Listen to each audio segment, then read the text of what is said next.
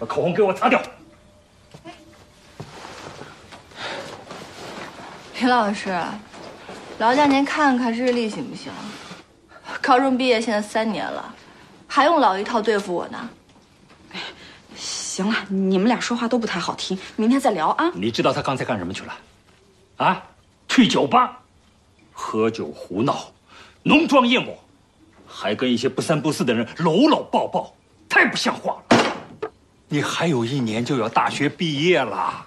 你看看你的同学都在干什么？找工作的找工作，考研的考研。哎，应喜他都已经拿到了出国交流的 offer 了，你呢还在那儿游手好闲，一事无成。你再这样下去，你就变成社会渣子了。你，哎，严重了啊！我怎么就成社会渣子了？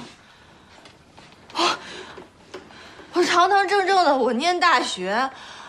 我拉大提琴，我当乐手，我怎么就成社会渣子了？我今天春季汇报演出，我邀请你们两个了，对不对？